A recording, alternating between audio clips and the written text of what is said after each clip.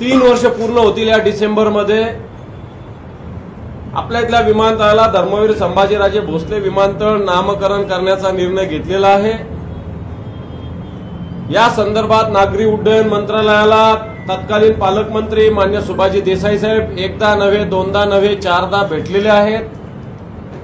परंतु हा प्रस्ताव अजूनही थंड बस्त्यामध्ये पडलेला आहे. आणि म्हणून शिवसेनेला हिनवणारं हे सरकार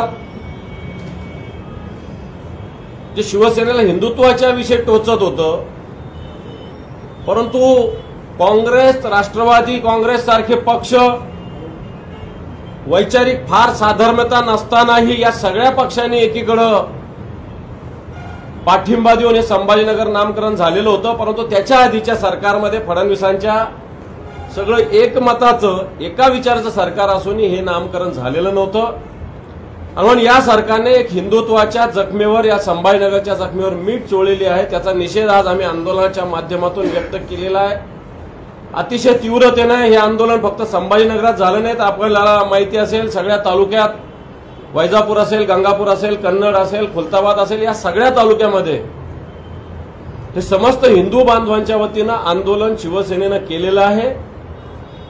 आणि हा जनमताचा रेटा कालच आपल्या माध्यमातून जनतेच्या माध्यमातून या सरकारच्या कानापर्यंत गेला.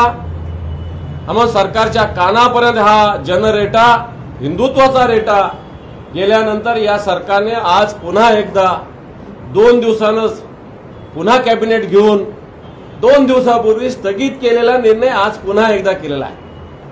हा प्रश्न निर्माण होऊ शकतो का? दोन दिवसातच करायचं होतं तर पुन्हा स्थगित का केला होता? याचा अर्थ श्रेय घेण्यासाठी आम्ही हे केलं. हे सांगण्यासाठी अशा पद्धतीनं हे केलं अशा प्रकारचं ठाम आमचं म्हणणं आहे.